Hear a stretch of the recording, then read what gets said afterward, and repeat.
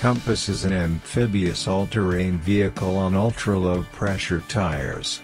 It is able to carry up to 4 people or loads weighing up to 600 kilograms. Compass is equipped with a gasoline 4-cylinder engine with a capacity of 102 horsepower. The maximum speed that the all-terrain vehicle develops is 80 kilometers per hour. The Compass is equipped with an automatic transmission and is controlled by a motorcycle-type steering wheel. The weight of the all-terrain vehicle is 850 kilograms. InStow-K winch is already installed on the Compass. The ATV is able to overcome long distances in swamps, in conditions of forest clearings, large ruts, etc.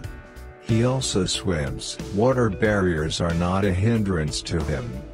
ATV Compass is perfect not only for fishermen and hunters, but also for all lovers of outdoor activities.